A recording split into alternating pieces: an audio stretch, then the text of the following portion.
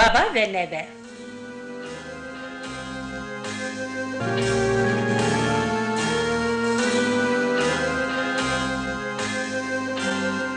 Biri vardı, biri yoxdu. Vaxtilə çox qoca bir baba vardı. Babanın gözləri yaxşı görmürdü, qulaqları da eşitmirdi. Dizləri taqətdən düşmüşdü. Yemək yeyəndə qaşığı zorla tuturdu. Son zamanlar oğulla gəlin qocadan iyrənməyə başladılar. Onu süfrədən tamam ayırmışdılar. Yeməyi elə oturduğu yerdə verirdilər.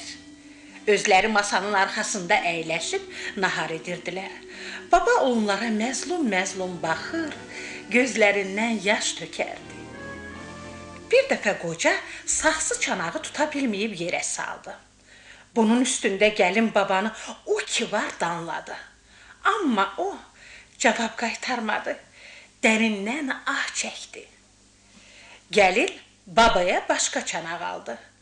Baba yeməyi yalnız bu taxta çanaqda yeyirdi. Bir dəfə qocanın gəlini və oğlu masa arxasında oturub yemək yeyirdilər.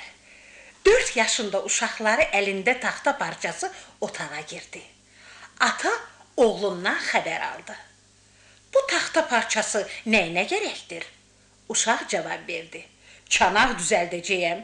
Siz qocalanda anamla sənə yeməyi bu taxta çanaqda verəcəyəm. Ata ilə ana bir-birinə baxdı. İkisinin də gözləri yaşardı. Səhvlərini başa düşdülər. Babanı sobanın yanından qaldırıb masanın yanına gətirdilər.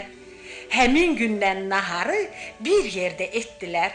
Babanı süfrədən ayırmadılar.